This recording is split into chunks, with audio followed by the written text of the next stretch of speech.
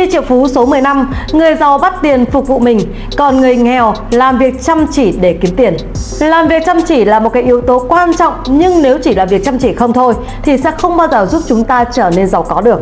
Đối với người giàu, họ làm việc chăm chỉ để kiếm tiền nhưng đó chỉ là một cái giải pháp tạm thời thôi. Còn đối với những người nghèo thì tình trạng đó kéo dài mãi mãi. Người giàu hơi hiểu rằng là họ cần phải làm việc chăm chỉ cho tới khi mà những cái đồng tiền họ làm ra đủ để phục vụ họ. Họ hiểu rằng là tiền của họ làm việc càng nhiều thì họ làm việc càng ít.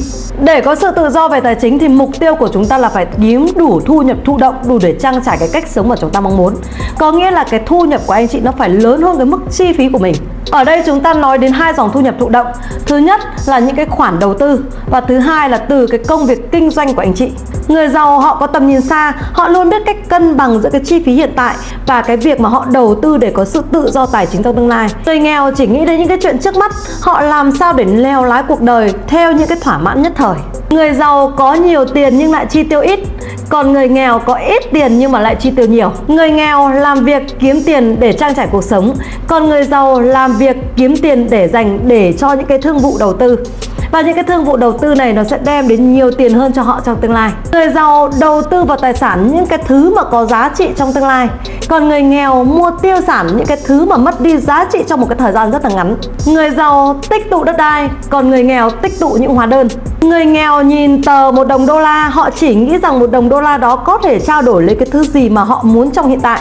Người giàu coi một đô la đó là một cái hạt giống để có thể gieo trồng, thu hoạch được hàng trăm đô la khác. Và rồi từ hàng trăm đô la đó, họ lại tiếp tục gieo trầm để tạo ra hàng ngàn đô la. Cho nên cái bài học ở đây là chúng ta cần phải cẩn trọng khi mà chúng ta chi tiêu tiền.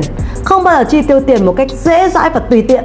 Với cái tư duy như vậy nên thành ra là người nghèo khi họ làm ra được những cái số tiền của họ, họ nhanh chóng tiêu hết cái số tiền đó và họ phải chăm chỉ làm việc cật lực cả đời. Còn người giàu họ làm việc, họ chi tiêu tiết kiệm và họ đầu tư để họ không bao giờ phải làm việc vất vả nữa. Hương đang có môi trường câu lạc bộ giúp anh chị có thể cài đặt những cái hệ thống niềm tin gia tăng nhiệt kế tài chính trong tâm thức của anh chị. Và anh chị nào thực sự quan tâm thì anh chị có thể nhắn qua cho Hương để Hương gửi tặng anh chị những cái bộ công thức miễn phí giúp cho anh chị có những cái kiến thức là làm thế nào để bắt tiền phục vụ cho mình thay vì rằng là mình cứ đi chạy theo đồng tiền.